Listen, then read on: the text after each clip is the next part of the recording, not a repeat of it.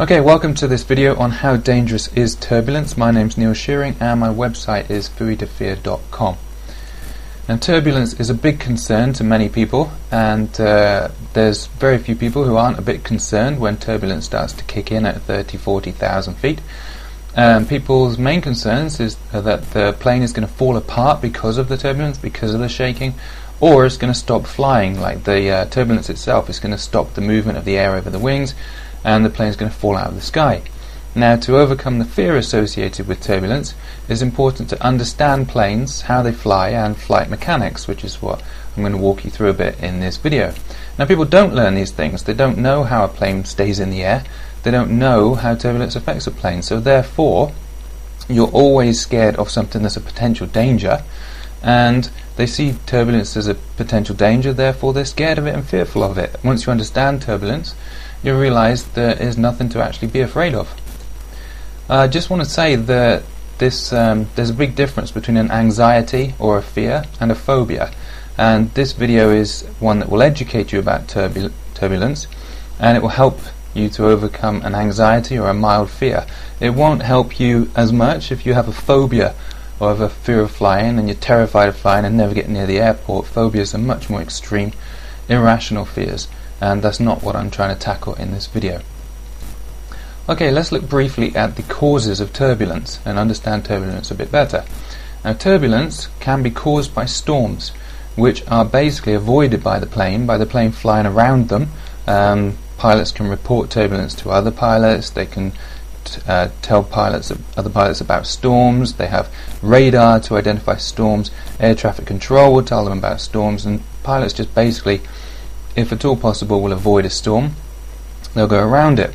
They also don't take off if there's a storm near the airport, and they don't land if there's a storm at the destination airport. They either wait for it to pass and circle around, or they go to a different airport. So, this specific type of turbulence caused by storms is avoided.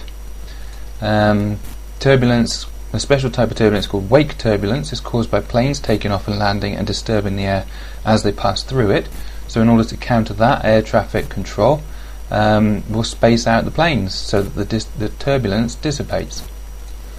Another kind of turbulence is caused by the sun heating the land, which causes the air above it to rise, and that will affect a plane um, as it takes off or lands. But it's generally very mild, that kind of turbulence, and nothing to be concerned about. And finally, there's turbulence caused by the jet streams, which are high up in the atmosphere. And as the jet stream roars along at up to 250 miles an hour, it pushes the other air masses aside. And at the boundaries, there's turbulence set up. Um, and some planes on some destination, on some um, trips, will make use of the jet stream to travel faster. Obviously, they get a 250 mile an hour tailwind if they're going in the direction of the jet stream and uh, that may cause turbulence as you as the plane enters and leaves the jet stream. So that's something to be aware of. Um, but again, it's of no risk to the plane. So let's look at the physical danger you can actually be in um, caused by turbulence. There's almost zero chance of turbulence shaking apart a modern commercial airliner.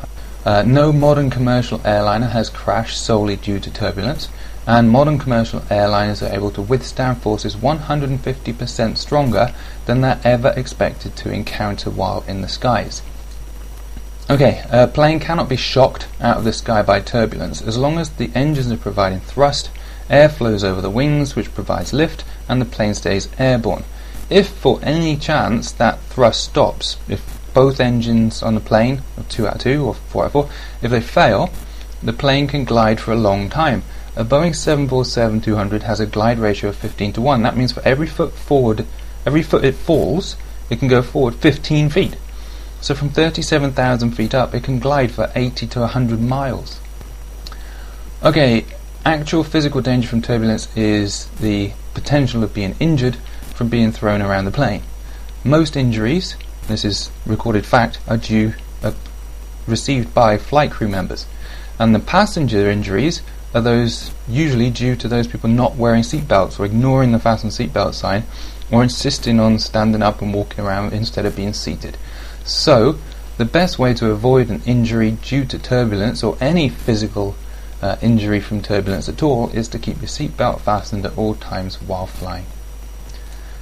Okay, I hope you enjoyed this video. If you want more information, there's the uh, FAA fact sheet on turbulence, the Phooey to Fear website, and we've also got a Kindle book called Fear of Turbulence. The links should be in the video below, or the links you can take down from this screen here. Thanks for watching.